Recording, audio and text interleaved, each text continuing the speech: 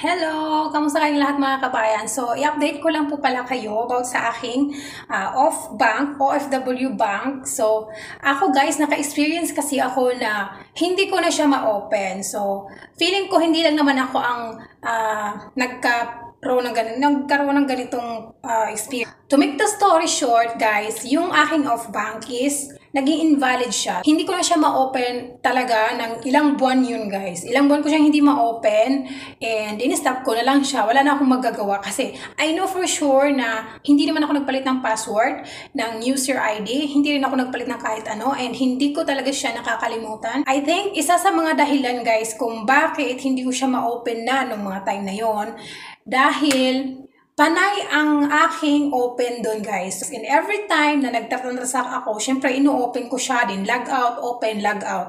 Which is I think yun lang yung nakita kong rason kung bakit nila na in-invalid yung aking account. So hindi ko na siya ma-open. And buti na lang kahit papano yung tira doon is ano na lang uh, ah, 500 pesos lang yung natira doon. So hindi ko na siya hinabol guys. Kasi I know myself na meron I think mali yung ginagawa ko na parang sa isang araw may dalawang beses ko siyang tingnan. Alam niyo yun, kasi parang gusto kong ma-secure na yung pera na nandun pa rin. Alam niyo yun, parang wala pa rin akong trust. And, luckily guys, after no mga ilang months, I think six months yata na, six months or five months. Yes, I think five months guys. Biglang naisipan ko ngayon na i-open, mag-install nung uh, application na yon. And sabi ko, try ko nga i-open yung aking password, yun pa rin. Luckily, na-open ko siya guys. As in, na, nandun pa rin naman yung, yung balance ng 500. Hindi naman siya nawala. So, uh, sabi ko, ah, yung pala yung mali ko lang talaga. Yung uh, log in, log out, log in, log out. Tapos nagtra-transact ako ng sobrang liliit na mga bagay, ng mga uh, pera. Tapos, hindi naman ako naglalagay ng pera doon. Kasi parang ano lang yun eh. Yun yung sahod ko sa YouTube.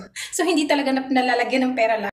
Yan, so sa mga nakaranas nung tulad sa akin guys, itry nyo siya na hayaan nyo siya ng ilang buwan. Huwag nyo siyang i-open. So, ako kasi in-install ko talaga siya totally. So, talagang kinalimutan ko na siya. So, try nyo rin guys. Yan, install nyo yung i-open ng ilang buwan. So, yun lang ginawa ko. Basta bigla ko na lang kasi siyang naalala ngayon. And in-open ko siya bigla ngayon. And nag-open naman siya, guys. Siguro, ano, kailangan lang talaga na lagyan mo siya kahit papano, lagyan mo ng laman.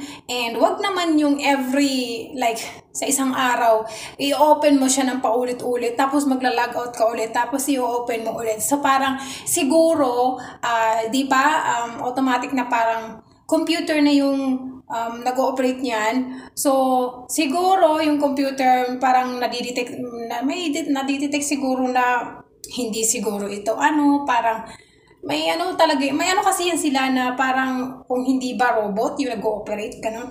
Something like that. Ay, wala akong masyadong idea. Basta yun lang yung aking um, masasabi na wag niyong i-open, tapos i-log out niyo ulit, tapos nagtatransact kayo ng maliit na amount in parang ilang beses ng araw kasi ginawa yun. Like, sa isang araw nag-open ako ng tatlong beses, tapos nag, uh, nagsisend ako ng pera sa ibang Gcash ng mga 50 pesos lang, 100 pesos, tapos wala kasing bayad yun guys.